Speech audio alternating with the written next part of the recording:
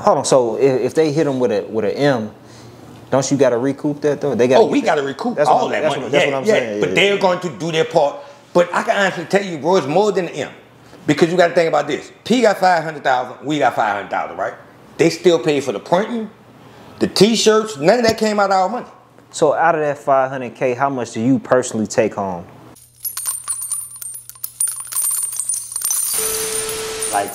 I remember when we first got our money, when our money clear, boy, we couldn't wait to pull up all them niggas and get them niggas their money back. Uh, yeah. Because it was a, it's a, it was a different ball game of it. Like we were just we, and they had no idea the kind of money we was gonna get. So can you uh, just give the viewers a little insight on the actual like con- contractual agreement with uh, Master P and No Limit? Since you All right, you this how it went. signed I, to to put it in small Yeah, terms, this how it went, right? Master P co-signed me, right? He did all the production for the album. Put anybody I wanted on the album, and he went got a, and he got a million dollars for it. He gave us five hundred thousand, but what he was supposed to do with his other half of the money was promote the second leg of the album. Cause you got to remember, um, Brick Livin went gold with one single. All, only only video you ever saw was How You Like It, Baby. Hold on, so I- the Humbra. Humbra, actually, we shot that damn near ourselves. Okay. So Humbra mostly was a part of the compilation, right? But what we did was we made that my single Okay. because we hadn't already shot. Like Humbra didn't come from when we shot Humbra. That wasn't no money paid by Priority. But the video when you on the football field and all of that. Now you can't you see the difference? You know we Yeah. shooting that shit in The the Superdome quality, and all that shit. That's what I tell you. You see the difference, right? Sure. They sprayed the shit, tough guy and all that kind of shit. Like that was going on there. So in Humbra probably cost it. I think we give give Chris them like 40, 30,000 or some shit. And imagine what fucking how you like it baby cost. It probably two hundred fifty thousand dollars. Man, I was about to say like half a million. I don't know, Yeah, bro. yeah, Cause yeah, listen, what you don't know is you know them when we in the hot tub. You know where that's at? Mm. That's the fucking Superdome locker room. Yeah. The Superdome. Like now, I can look back at that shit and think, why the fuck did we have to go to the Superdome locker room? No, you ready for this? P wasn't there. We put P in that video.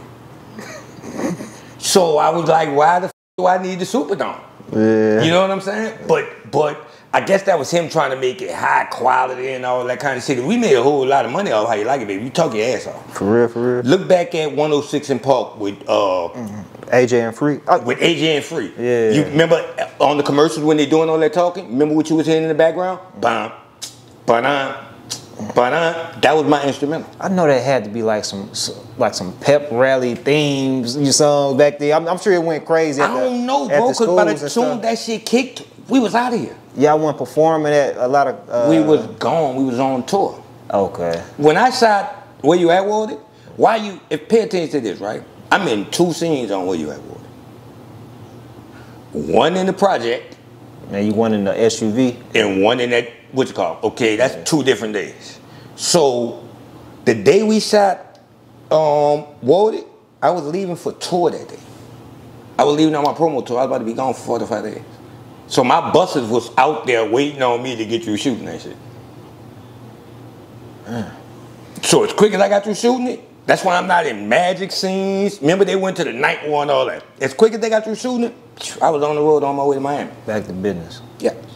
That was priority though. They had them put all that, they had them scheduled me a promo tour and all that kind of shit. So yeah, I think that's the part you left out. So he co-signed for you, but the album came out through Priority though. Mm-hmm. Okay. Which was a major label head. Because so- he had a distribution deal through priority. exactly. Say, I mean, we go to Pete.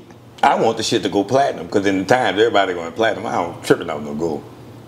And P gave us some game. P gave us some jewels, but we ain't, we wasn't fucking with it. P said because all right, so mind you, like when I first do the album, like I, I have fucking t-shirts everywhere. Every motherfucker in the city had a tough guy t-shirt. on. Like we was swinging them bitches. It was like anything like what we wanted. We used to always see how what P had like the body body t-shirts and all that kind of shit. We like we want that kind of promo. P said, "I'm gonna show y'all."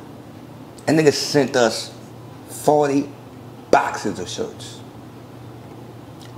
You could see them, bro. They still got people in the city to this day that still have the t-shirts, tough guy t-shirts. He sent us 40 boxes of t-shirts, right? All different sizes. He sent us like five, ten boxes of handkerchiefs for people to tie around their head. Like we gave that shit all over. So that's what made Tough Guy brand. Like people wasn't realizing what we was doing, but we was following the Master P method. Man. He was smart though, cause when the, when Mr. The, with the post some post album came out, Mr. Postman, what he called himself, Uh, yeah. he The, sent uh, us them motherfucking boxes too. They yeah. say get him away too. Yeah. But Oh, that's man. what he was doing. Like we, boy, we flooded the city with them bitches. Yeah. So we made like it was like, um, Y'all had the little posters and stuff. man, we had the te- yeah, like we had everything. Bro. Yeah. And they were sending us boxes of that shit because you got to understand. I'm I, I would have major. The first leg of it, the major takes care of everything. The second leg, P takes care. So they got to recoup. They gonna recoup. But I'm just telling you, for the budget, anything I need, Mm-hmm. I don't call P. I call Priority Records. Hold on. So if, if they hit them with a with an M, don't you got to recoup that though? They got. Oh, we got to recoup That's all what- that that's money. what- that's yeah, what I'm yeah. saying, But yeah. they're going to do their part. But I can honestly tell you, bro, it's more than an M. Because you got to think about this. P got 500000 we got 500000 right? They still pay for the printing, the t-shirts. None of that came out of our money. So out of that 500k, how much do you personally take home?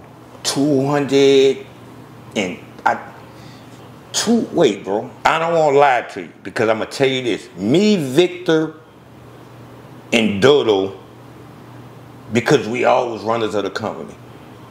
I remember the split but I actually can't remember it now. But we got like the same thing okay? We took care of our other partner Tweet our other partner Big U and we put money into the tough guy account. The tough guy account, I ain't never heard of no shit like this too though. But this kind of, this the this the kind of shit that dope used to come up with, right? So in order for us to get in the account for the tough guy shit, two of us had to have a signature on the shit.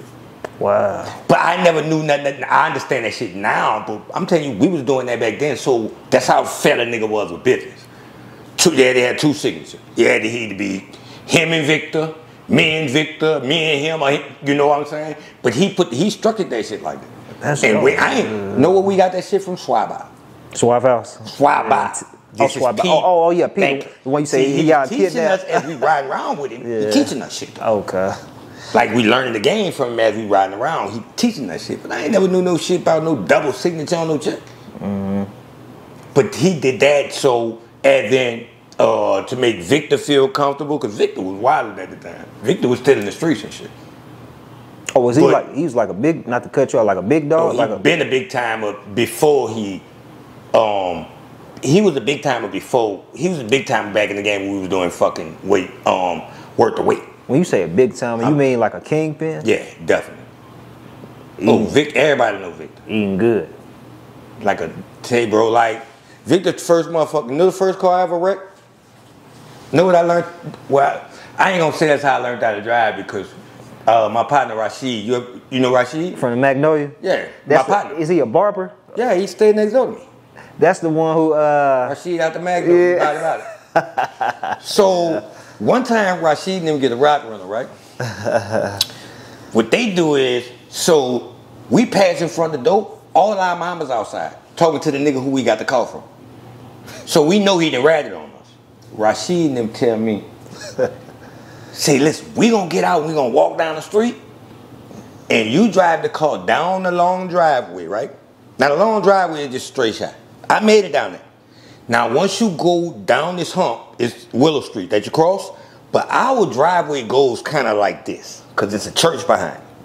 I hit every motherfucking thing back there. Boy, did I? And I parked that bitch. I hit every. That was my first time driving. I hit everything back there. Now my second wreck was it wasn't really a wreck though. Me and my partner, uh, Sweet Pea, Victor, give me his car. It's the the um, Victor one of the first niggas that had the convertible Cutlass. Remember they had the convertible Cutlass with the ball on the top. They had a green one. I'm riding around with that. I had the fucking cell phone, you know that big ass cell phone. Yeah, this that that's how oh the big. brick brick uh That's how how hard he was balling, right? yeah back then. Me and Sweet in the car, I hit the fucking curb. Fuck his rim off. What's the odds of that? Was he even tripping? He ain't though? getting no fucks. That nigga told that bitch to say I ain't tripping, you gonna work it off. I was working at I was working at work the weight at the time. Oh, okay. He was like, you gonna work it off. But I really didn't work it off. Because after that, like he started, I, I after that, like I started driving him around. Mm-hmm. But I really didn't work it out. Like that's the nigga who I can see between him and Stone. That's niggas who gave me real opportunities, and I ain't talking about just niggas. You know how niggas will give you straight opportunities, right?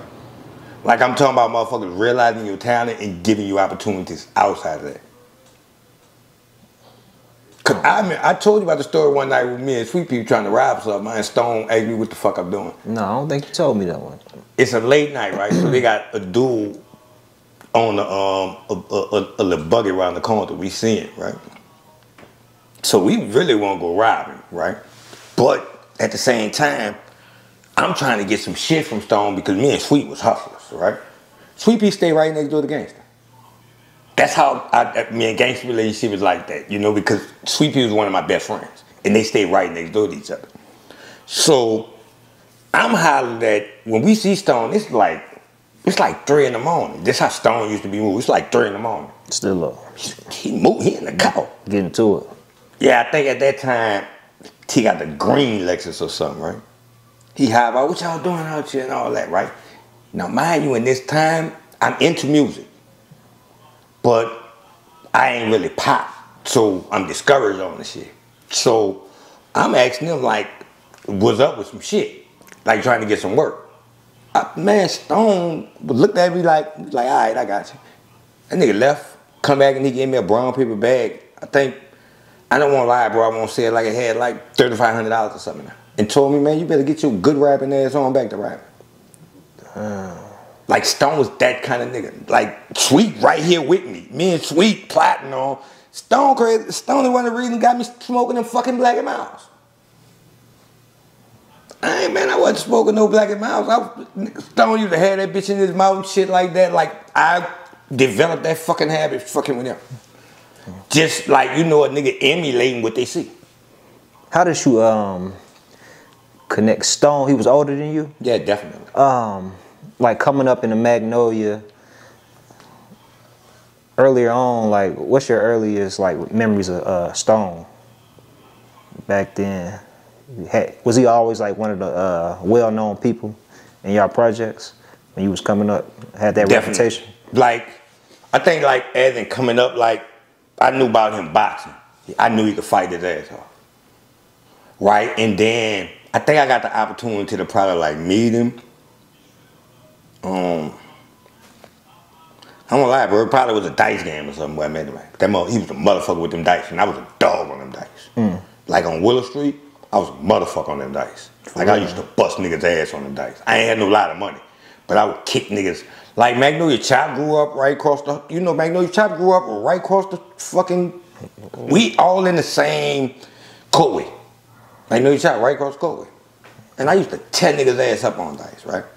And I think I went probably in the sixth quarter in Belmont or something and started fucking with him on some dice and he just took a liking to me. But I always been around all them kind of dudes. Like I grew up with like Claudie B, um, Booby Black, Gangsta, T, uh, TB. Like I grew up around all them dudes. Cause like soon as I turned the corner, I'm looking at on that fucking porch, that's round of commotion and that's the stunner before stunner. A lot of people don't mention Round of Camoose though. Round of Camoose was the stunner before stunner, bro. Like that Camoose fan, boy, they had some fucking money. And they stay right across the street from Claudia B. in the projects. Right. Claude, Claudia is like, I think, um, I don't know what the fuck it was. Gangster told you what it was, but he had a Mac 10 or some shit. Like, nigga ain't never saw no gun like that. Like, we used to be, say, bro, when I was coming up, we had fucking German Lugers. You know what that is? Yeah. Like, big old fucking 22 that's heavy as a motherfucker. Like, we had that. And, like, when they talk about 9 millimeters and shit, probably the first gun I seen, I want to say is an 8 millimeter. You know how heavy that shit is? It's the 8 millimeter. It's either the 8 millimeter or 10 millimeter. This a big, heavy ass gun, bro. I heard the 10 milli supposed to be kind of. Yeah. It's this old gun though. This bitch is so heavy. Like this what niggas used to rob niggas with. They'll smack the piss out you with it. And you gonna get your mind right. Oh, this bitch. It's like a like I remember the 22 German Luger. Whatever. That bitch was heavy. Them big old heavy guns, man. They looked at like play guns. The fucking barrel on them that long and all that kind of shit. Like that's the first guns I seen. Mm.